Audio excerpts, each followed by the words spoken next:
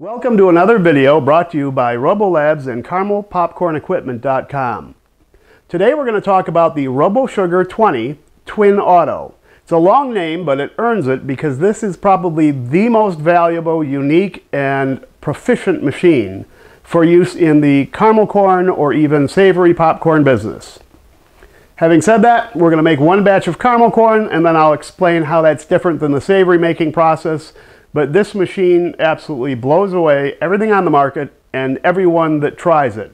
It's a machine that no one returns, no one sells, and more often than not, as businesses grow, they buy more and more of this piece of equipment. It is so novel and so productive it's hard to believe anybody makes caramel corn any other way. Now the ingredients are already loaded in this machine. Uh, it does take 20 to 30 minutes to create a batch of caramel corn depending on your recipe and how much water you use. But I'm going to do cuts and edits so that we can make this go quite a bit quicker. To begin, we're going to turn the machine on. You can hear it mixing. You might not be able to see, but I've already loaded 18 gallons of popcorn into the uh, hopper to the left and we're going to see how this machine automatically heats the slurry, then automatically adds the popcorn, automatically mixes it, and then automatically cools it.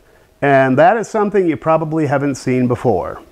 Now while we're heating up, if uh, you take a look at the front control panel of this machine, it's pretty straightforward. I'll explain these, uh, each of the buttons and options here pretty quickly.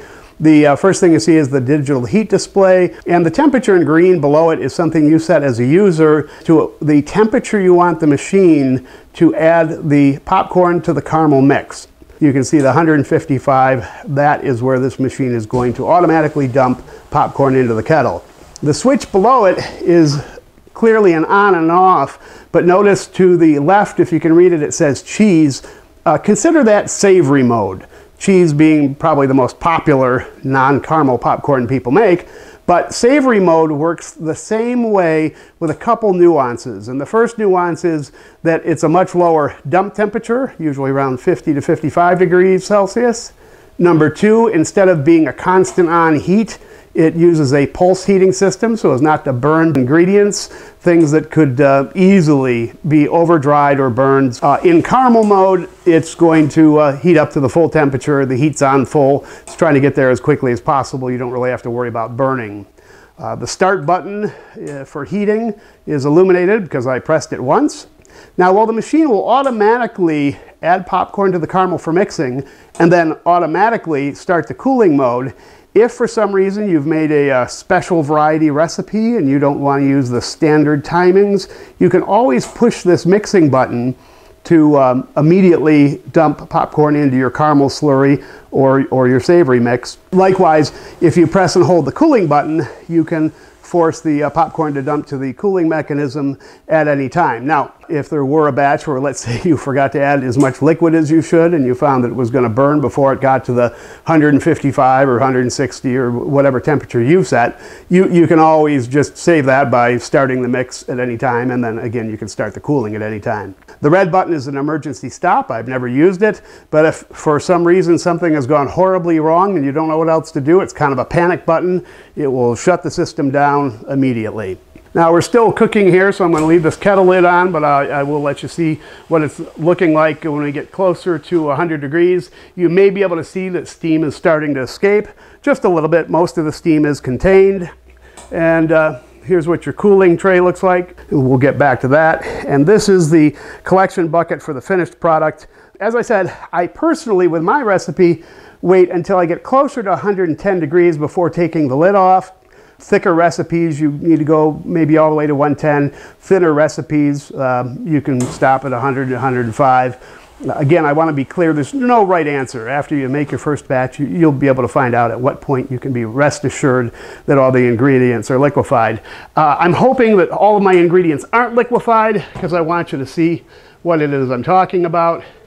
As we look down in here, you're probably going to only see steam, uh, but I'm looking at the paddle, and nope, looks like everything is liquid. So sometimes if you, if you see solids are still built up on the paddle mechanism down there, that tells you that you could uh, heat a little bit longer before taking the lid off.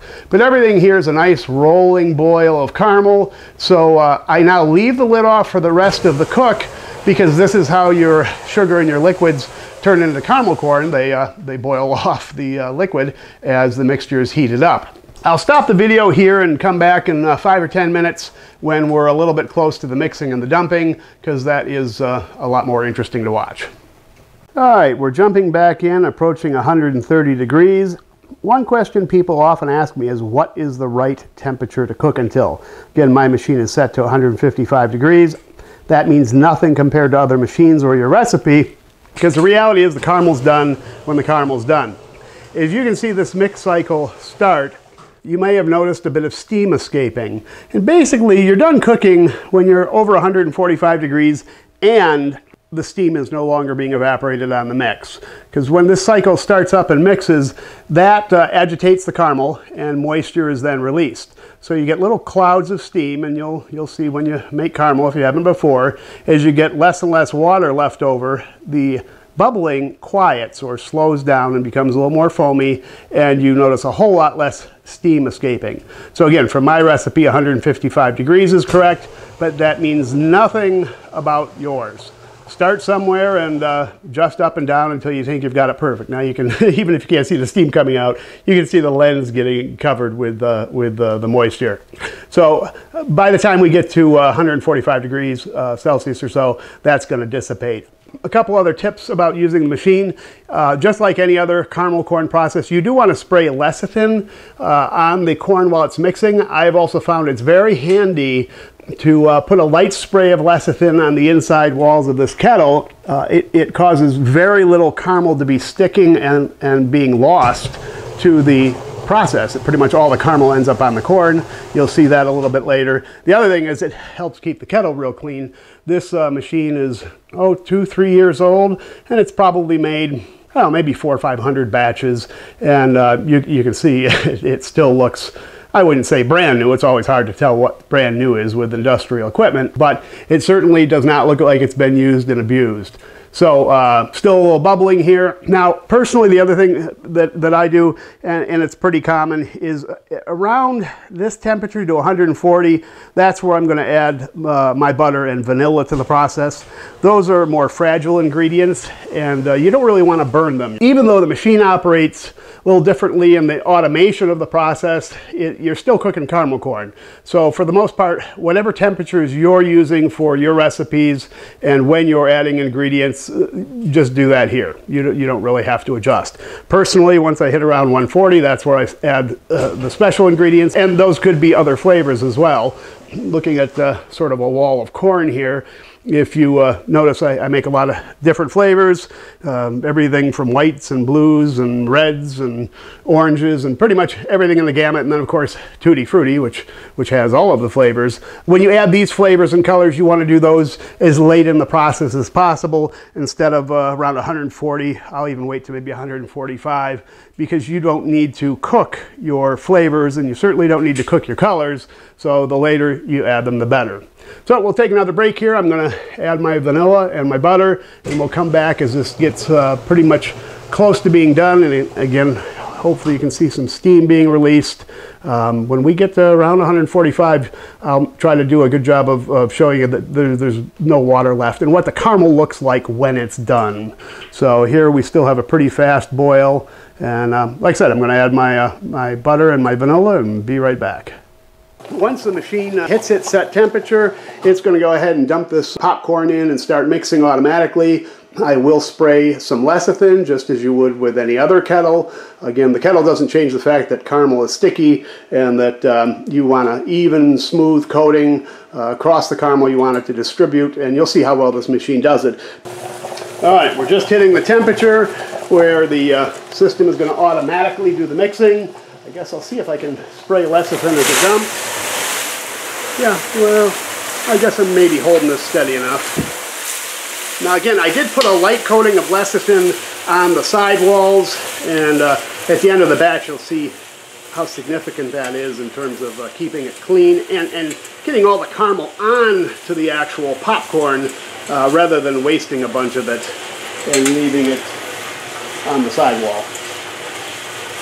Now this mix goes on for about two minutes and at that point it's going to get real loud because the cooling tray will uh, will start to move. And this is a two-speed cooling tray. I'm going to tell you what it's going to do now, and then I'm going to do a couple edits so you can see it change speed. But it's going to make a lot of noise. Uh, I mean, in in practice, it's not bothersome, but in terms of trying to make a video, uh, it does sort of drown out my voice. So it's two-speed. It starts out very quickly. I'll maybe uh, do 10 or 15 seconds of that. And then after a minute or two, it drops down to a slower speed, and I'll make sure to capture that as well. You can probably tell just how well this mixing has occurred. And again, I'll, I'll show you the sidewalls later. There's a teeny bit of caramel on it, but I've seen kettles where it looks like 10% of the caramel gets wasted and, and not used on the popcorn itself, and that's certainly no good. So we're about at the end of the mix, I'm guessing. Yep, and here's the high-speed cooling. The system is going to automatically dump. And then it's going to rotate the mixing blades to make sure that all the caramel gets evacuated. And sometimes there's, you know, a few pieces left in there, but certainly not much or many.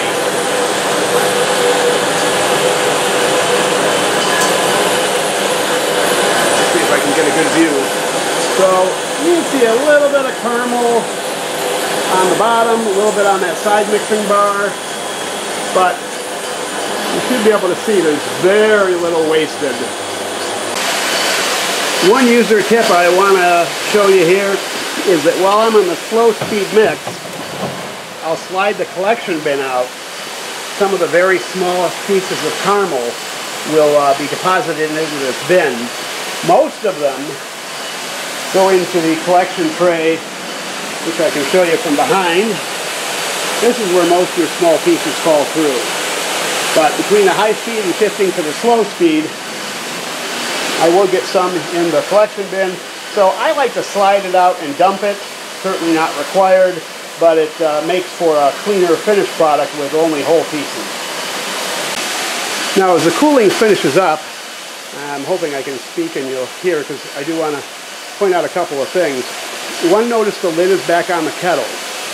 Now, if I am making continuous batches of caramel corn, I will immediately dump in a fresh set of ingredients. And this is one of the big things that enhances the productivity of this machine because I would be cooking my next batch of corn while my existing batch is still cooling. So after your first batch of the day, you're always working on two. One's being cooled and one's being cooked since I'm only doing one batch here to make this video, what I do instead is I pour about a gallon of water in that kettle and put the lid on. And I just let the machine cool down naturally. But in the process, it traps all of the steam from the freshly added water and essentially just about cleans itself. And I'll show you that because uh, that sounds trivial, but the time saved from not having to clean a kettle uh, every couple of batches is um, that's noteworthy. And again, it's all about productivity and consistency. So I could be cooking a second batch, and with my uh, caramel recipes, generally I'm going to be putting out two batches an hour with this machine, and that's two batches with me not having to do much. I have to load the new ingredients in the popcorn, and of course I have to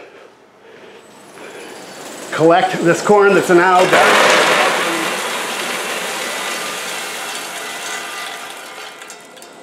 Yeah, I just stopped talking there. I didn't think there was any way I'd be able to talk over that.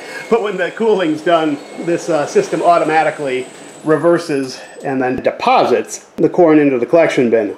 So I'm showing you the view here uh, because I want you to see the scrap that was collected below. I also want you to, to see that there's very little, if anything, ever accumulated on this uh, conveyor because it's uh, steel and smooth and constantly moving you know, once a month or so, I'll take a steam cleaner and a few bits that may collect. I'll uh, blast it with steam, but uh, it does a remarkable job of cooling the corn with, without dirtying itself in the process. And so again, so you can see just how clean everything is here, even after making a batch of caramel corn. And then when we show you the finished product, like I said, very little caramel is wasted. The few small pieces get broken up, and what's left in here is remarkably consistent with even coating. I'll grab a scoop and agitate some of this so you can see what I'm talking about.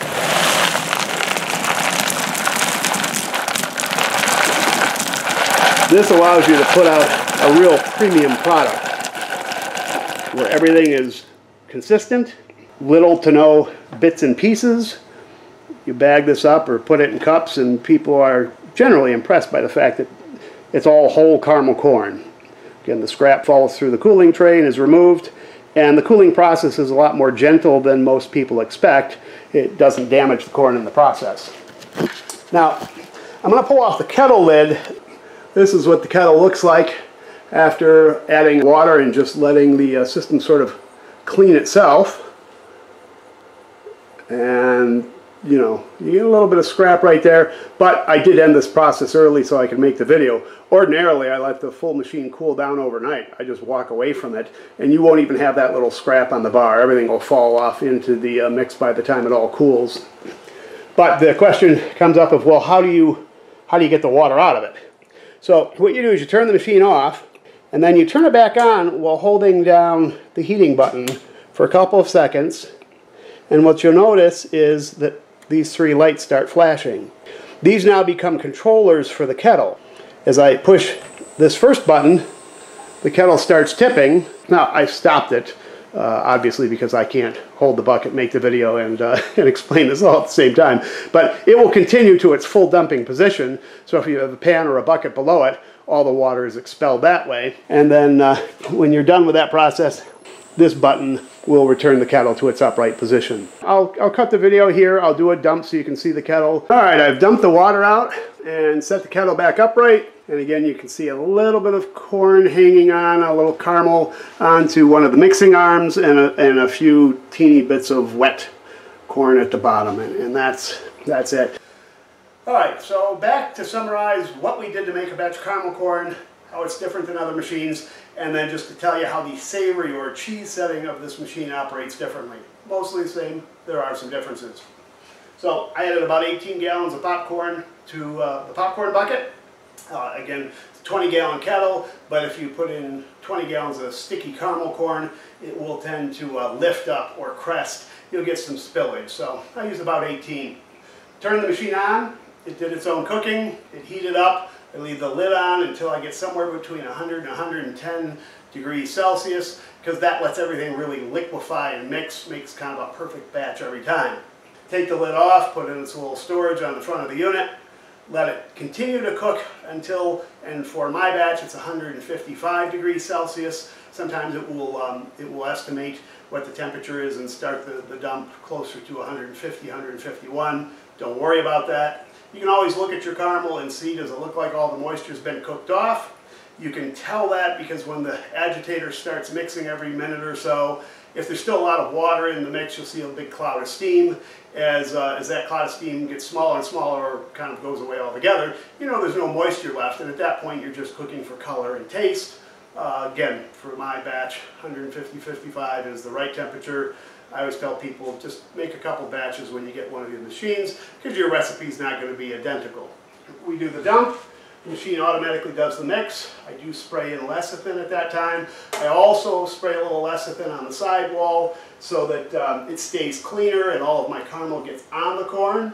After it does a two minute mix, it goes ahead and dumps it onto the cooling tray. That starts out in a high speed mode and then after uh, around two minutes goes into a low speed mode for the remaining four. As soon as the dump occurs, if I'm done for the day or let's say done for uh, any period of time where I'm not going to make an, immediate another batch, I'll pour in a half gallon of water, I'll put the lid on, just let the machine cool down the kettle, it won't be heating itself. And, um, and I showed you the video of how good a job it does, even in just four minutes. But you leave it for an hour, in my case leave it overnight, come in the morning, use the manual controls in order to cause the kettle to dump, pour that liquid out, and, and you're pretty much done. If you are going to make another batch, you can immediately add your ingredients. One thing that I do is I will first dump in about 16 ounces of water so that I want the actual kettle temperature to drop a little bit, get closer to that boiling point of 100 degrees Celsius. And after about one minute, then I'll dump my batch of my, uh, my wet and my dry ingredients. The reason I do that is because obviously when I put water into a hot kettle, it's going to boil off pretty quickly. And I don't want my next batch to be drier or not to be consistent come out the same every time. So I throw in basically sacrificial water, about 16 ounces, watch the thermostat as it gets pretty close to the 100 degrees Celsius. Then I add my wet and dry ingredients. The kettle's still very warm, so this doesn't really significantly increase the cook time, but it has the advantage that I'm not going to have an immediate boil off of my wet ingredients, nor do I have to worry about burning my dry ingredients. So two different ways to go there, but if you're making the next batch, 16 ounces of water, watch the temperature sensor, gets anything below 110, go ahead add your next ingredients, hit the hit the heat button for it to start cooking, put the kettle top back on because again I, I want to get it significantly heated so that everything's liquefied and you just keep repeating that process. So it will be cooking while I'm cooling a batch of popcorn and generally speaking you're going to get two to three batches an hour uh, and again I'm not trying to be vague when I say everybody's uh, cooking is different but everybody's recipe is different. Uh, the thicker your ingredients and the more water or liquids you add, uh, the longer your cook time. Some people do a really light coating with very little liquid. They might get a batch every 20 minutes. Mine, it's more like every 30 minutes. If you're doing a super heavy coat and you use a lot of water, um, you know, maybe yours will be every 35, 40 minutes. But 30 is a pretty, pretty average. I think you can plan on that. The uh, things that are different about this than any other process well, everything's different about this machine, but a couple other things to note is that that cooling mechanism keeps the corn rotating. It's, it's perfectly separated when it's done. So there's no manual involvement. It's also gentle, it doesn't break anything. Every piece is separated. I mean, literally, there's no pieces stuck together. It's perfect. And in the process, all of the small fragments drop through that grate into the collection pan underneath the machine that I'll basically just empty once a day. So that is the most prolific, efficient, consistent piece of equipment in the popcorn market. If that were it, that's the best buy you're ever going to make in terms of consistency, labor, productivity, everything. But this is a twin Auto 20, and that word twin is in the description because again it has a cheese mode uh, I tend to, again, refer to it as savory mode. So think of it as anything that isn't caramel, any low temperature coating process. You can use this to make 20 gallons at a time of cheese popcorn or garlic or dill, jalapeno, even just regular salt and butter. The difference in the process is, one, you can fill the bucket all the way to the top. That type of corn doesn't stick to itself, so you don't have to worry about spillage. Two, it, it's only going to heat to like around 50, 55 degrees Celsius. Um, so as not to burn the ingredients and because you're, you're not trying to make caramel, you're just basically trying to mix oil and spices. Three, when it gets to the uh, cooling mode, there's no six minutes cooling because it never got that heated in the first place. So when it's done with its mix, the kettle still tips over, it still dumps it onto the cooling tray, but rather than running cooling for six minutes, it just turns around and, and dumps it into the collection bucket at the end. You've got a great 20 gallon mixer, and because you don't have to wait for it to heat up as hot, and you don't need six minutes to cool, instead of doing two or three batches per hour, you know, you're going to be more like six batches, 10 batches, especially if you do as I do, which is while I'm making one batch, I, have got preheated oil, add the seasonings, put it on a little burner. So as soon as it does the dump and sets back upright, I'm pouring in a pre-mixed, already warmed sauce, essentially, that has all the seasoning ingredients that I need. I'll let it run for just a minute or two, and then I'll manually push this button I showed you before. You might not be able to see it from this distance. Remember I said you can push the second button to start the mix at any time. So since I don't need it to really get to 55 degrees Celsius, as soon as it looks like it's thoroughly uh, liquefied and well mixed, I'll just go ahead and manually hit that button to tell the mix to start. And then uh, I still let it mix for two minutes because again I want it to be as coated as possible, as even and consistent as possible. So I don't short that part and I don't have to wait for cooling. But if you already had your ingredients warm, you don't have to wait for the kettle to warm up. And now you can be talking in excess of 10 batches uh, an hour. And um, to have basically a savory cheese machine built into a caramel machine that's as automated as possible. I mean, you're still there to load ingredients, and I still add vanilla and butter, for example, closer to the 140 degree range. Uh, for my salted caramel corn, I'll sprinkle salt above Himalayan sea salt as the corn is mixing. I don't put it in the mix because it would just dissolve. But while the cooling mixing process is happening here, you can sprinkle in quite a few things as long as they're light and stick to the caramel. You can't do things like peanuts. That you'd have to do a manual dump with the buttons and put that on an old-fashioned table and sprinkle your peanuts in. Um, but the cooling tray will throw off heavy things. But if it'll melt or it's light, it'll, it'll stick. So I've done like uh, mini chocolate chips, uh, mini dehydrated marshmallows, and, and of course the most common thing for me is to just sprinkle Himalayan sea salt on while it's in the mix, and uh, so those come out fine without any manual intervention. So there are some things you might want to do, for example, like I say, nuts uh, or big chocolate chips that might melt too much, where you might want to do those post-processing.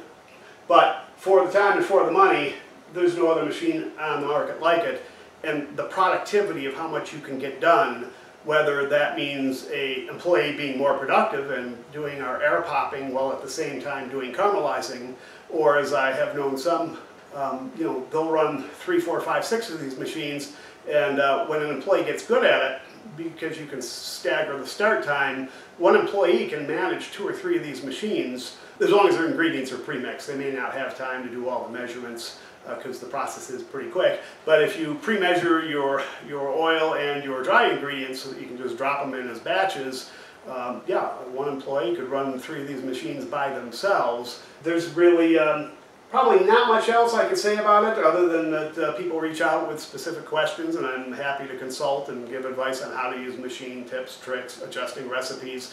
That's part of the service that we provide and why I run a test kitchen so that I know how to pretty much do everything you can with the machine.